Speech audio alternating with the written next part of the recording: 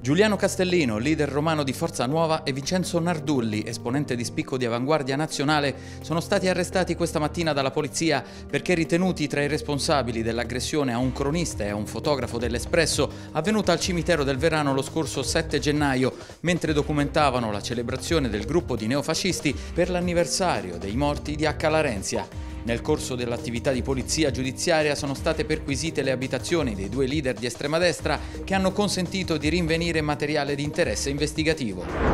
Schiaffi, urla, spinte e punizioni umilianti. Questo dovevano subire 19 bambini di una scuola materna di Roma fino all'alba di oggi, quando gli agenti della Polizia Locale di Roma hanno eseguito la misura cautelare del divieto di avvicinamento alla scuola e ai bambini, sospendendo dal pubblico servizio un insegnante di 42 anni. Gli agenti, dopo la denuncia di alcuni genitori, hanno accertato come i 19 bambini siano stati costretti a subire durante le lezioni violenze fisiche e psicologiche.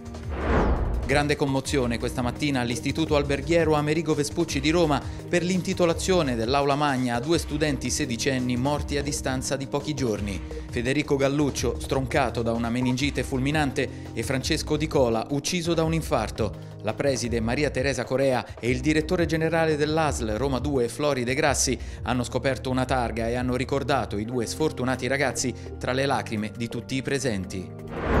500 appuntamenti, 8 mostre, 10 partner scientifici e 2 premi Nobel. Sono i numeri della quattordicesima edizione del National Geographic Festival delle Scienze che si terrà all'Auditorium Parco della Musica dall'8 al 14 aprile. Come ogni anno, scienziati, filosofi, giornalisti e artisti esploreranno le prospettive della ricerca più avanzata attraverso un programma di incontri che coinvolgerà 47 luoghi di Roma. L'amministratore delegato di Musica per Roma, José Dosal, ha inoltre annunciato che per l'occasione nell'auditorium sarà plastic free.